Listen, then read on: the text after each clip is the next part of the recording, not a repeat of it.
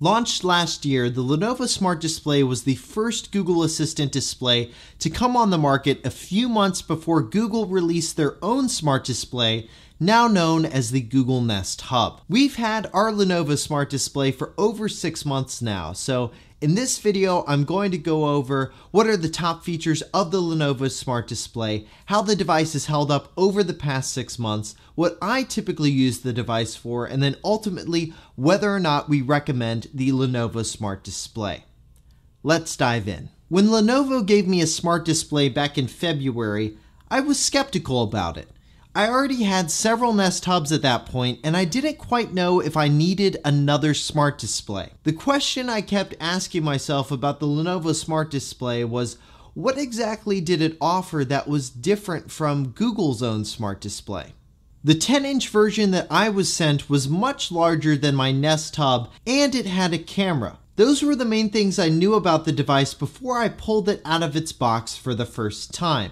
The build quality of the device was noticeably nicer than the Nest Hub. The volume and mute buttons felt more solid, and I really liked the bamboo wood backing of the device. The Lenovo Smart Display can be placed in both a widescreen or vertical screen setup. Though most of the time you're going to keep it in landscape because the UI of the Smart Display only works in landscape mode you'd only put the device in its other configuration for video calling, which we'll get to a little later. Setting up the device was very simple and similar to setting up other Google Assistant devices. The next thing you notice when you turn the device on is of course the screen.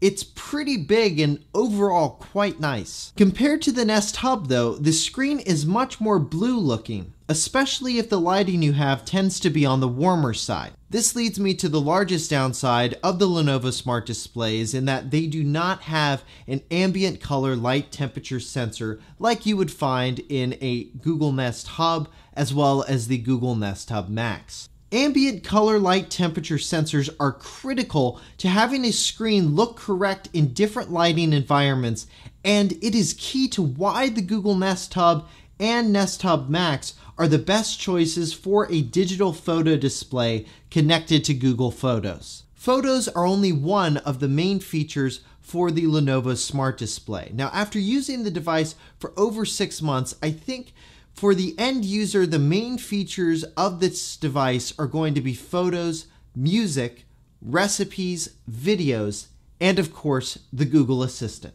Now, unlike photos, music is actually an area where my Lenovo Smart Display outshines my Nest Hub. The Lenovo Smart Display has a great speaker for its price and provides much more bass than the Google Nest Hub. There is a caveat here though, and that's the Nest Hub Max which comes out next month. We don't yet know what the Nest Hub Max will sound like, but it's safe to say that based on the specs for it, it'll probably be just as good, if not better, than the Lenovo Smart Display with the Max's stereo speakers and 3 inch woofer in the back.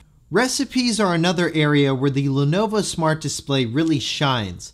The huge screen real estate is great for viewing recipes and Overall, Google's recipe system has vastly improved since the feature was debuted almost two years ago. Now there are lots of sites that support Google's recipe system. When you search for a recipe on Google, you can hit send to Smart Display.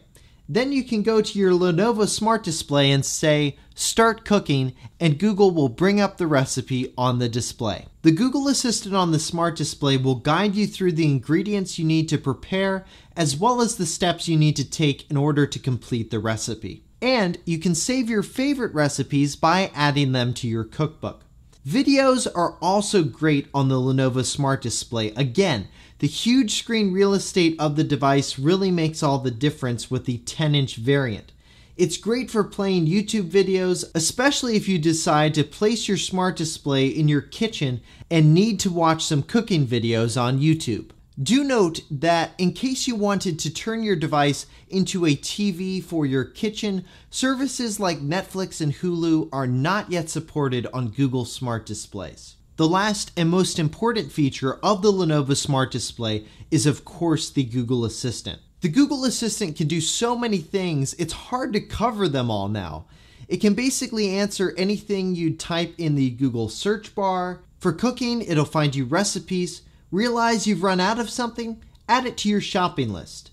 You can do things like asking it to play the latest news, play podcasts, music, get you the weather, tell you how long it'll take you to get somewhere, add something to your calendar, create reminders, control your smart home devices, play games, make phone calls, etc. There is just so much you can use the Google Assistant for now.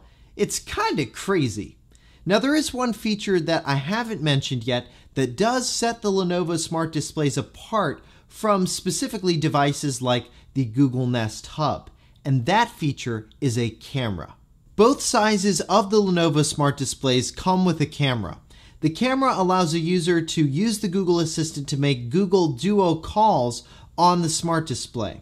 The video quality on the Lenovo Smart Display is pretty decent with a 5 megapixel wide angle camera that allows it to do 720p video calling. Also, the Lenovo Smart Display has a camera cover which is unique compared to the Google Nest Hub Max. Now, video calling isn't really a feature I use day to day, but in my testing, Duo works really well. Duo is available on almost every device imaginable now, including Apple devices like the iPhone.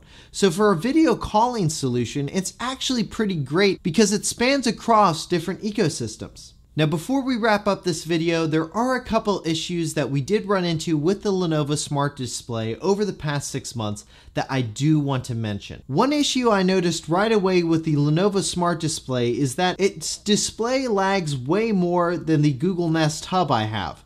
Now I don't have the smaller Lenovo Smart Display to compare, so this could only be an issue with the larger Lenovo Smart Display. The second issue I've noticed with the Lenovo Smart Display over the past six months is on occasion there are just weird and slight inconsistencies with its UI compared to the UI of the Google Nest Hub. The best example of this is when playing media on a speaker group.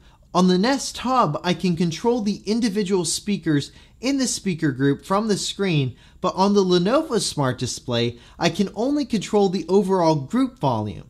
Now, sometimes it will show all of the speakers in the group, but it's been pretty inconsistent with this over the past few months. Now, one reason for this difference could be that while the Google Nest Hub and the Lenovo Smart Display, while their UIs look almost identical, they're actually, the software behind them is not. Google's own devices, which are the Google Nest Hub and Google Nest Hub Max, those devices are actually built off of a Chromecast architecture, whereas all other Google Assistant smart displays are built on a stripped down version of Android known as Android Things. The difference between the architectures could be the reason why there are some slight discrepancies between the two devices that I've experienced over the past six months. Alright, to wrap things up, here's my take on the Lenovo Smart Display. Overall, I've quite enjoyed my time using the device, and in a world where the Google Nest Hub and Google Nest Hub Max didn't exist, buying this device would be a no brainer. But because that's not the world we live in, we live in a world where this device competes directly with Google's own offering.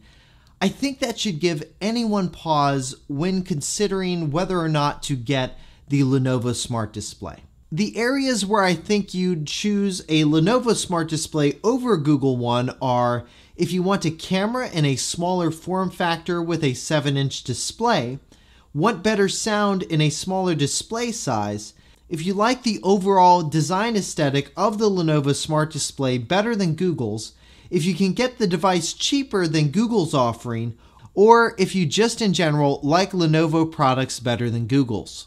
Otherwise, my recommendation would be to go either with a Google Nest Hub or Google Nest Hub Max, especially if you want the best display for displaying pictures. Well, that wraps up our six months later review on the Lenovo Smart Display. Thank you so much for watching. If you like this video, make sure to hit that thumbs up button below and subscribe to the channel if you'd like to see more Google Assistant videos like this one. Also, be sure and drop a comment below. Let us know if you agreed with our verdict or not. I always look forward to looking for your comments in our videos. Well, anyways, thanks again so much for watching. For six months later, I'm Josh Tedder.